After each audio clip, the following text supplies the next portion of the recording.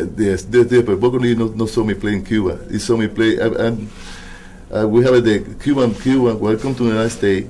They have the the Cuban monarch. They have all Cuban, all Cuban baseball player. And we come to the United States and we play against also Davis. Sometimes we play against Indianapolis Clown, a different team here.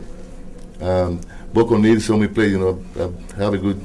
The first month I hit the ball good and everything. You know, not lucky.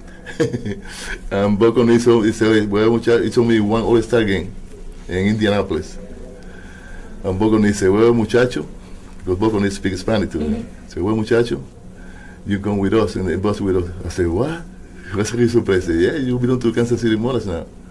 I said, oh, Bob, come on. You know, we talking Spanish like that way. I said, oh, Bob, come on. You serious? He said, yeah.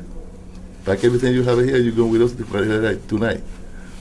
So I got it here in Kansas City, and uh, Buck O'Neil going to see me. We say, we got to have a game tomorrow, and you're going to play first base.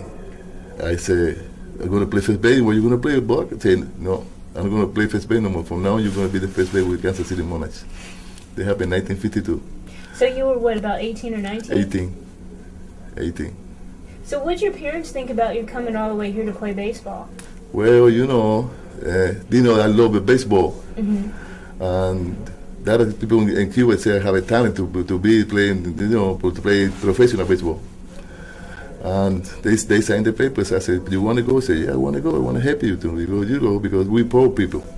Mm-hmm. I would say, well, I want to help you, but so he he signed the paper. So I come to the United States.